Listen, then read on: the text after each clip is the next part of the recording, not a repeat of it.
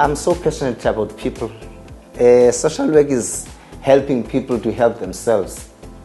We, we, we don't give them fish, we, treat, we, we, we teach them how to fish. We want to see them uh, standing on their own.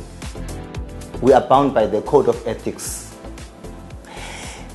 We live by those code of ethics. We put people's needs before your needs. We go beyond the, the call of duty just to assist the client. Gender-based violence is one of our priorities as a department. If you come to my office and try to, to, to assist you on the problem that we have, then the environment that we are going to is, is not going to change. Then what we, what we normally do, we go to the community, we go to the family so that we change the environment. So that after we have assisted this client is able to go to the conducive environment, at least we can see the change. Unathi every day here at work, he can work at 100%. We knock at 8 a.m. here. Normally at September, October, there's a business plan program here at work. Unathi is here by half past six. He's doing his business plan. We knock at 8, 8 o'clock, Unathi is done. She don't, he don't like to sit here, man. Said to me, this office is irritating me. I think we must go outside and work outside with people. People are hungry. We collect food parcels, we collect what, what. We go in those vulnerable areas. As I speak, plus minus 150 youth of, of, of KwaNobuhle, youth of Port Elizabeth are in VW now because of Unathi. If you are part of a decision, you are owning it.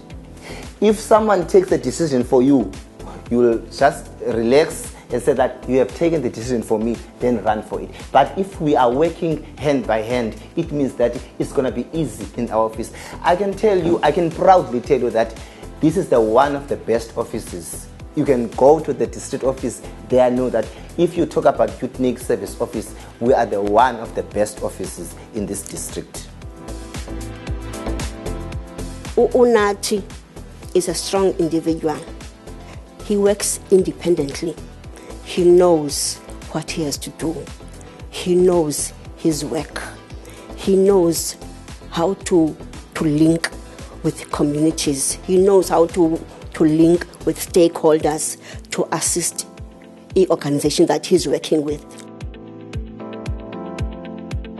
He makes sure that those organizations that are funded by DSD, they give back to the communities.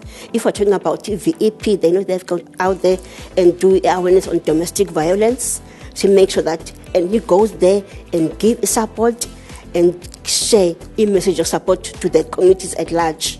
He's a that strong personality when it comes to his work, or not. I'm working with 150 children. Unathi is the one who's been helping me.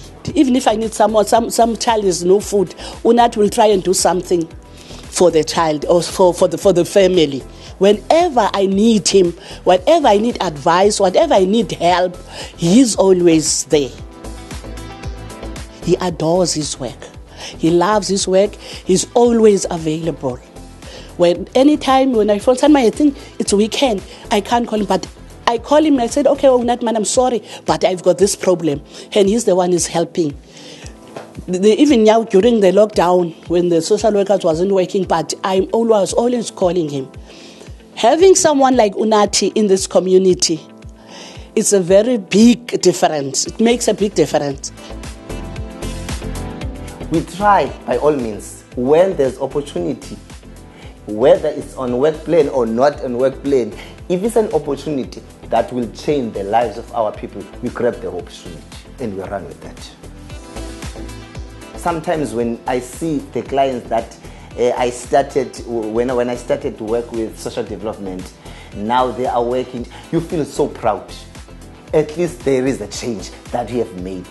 As I said, that it might be the drop in an ocean, even if it's one client. Remember that not all of them, you can try, but not all of them. Out of 10, eh, out of 10, maybe you can get three that are good. But you feel like at least I have made a difference.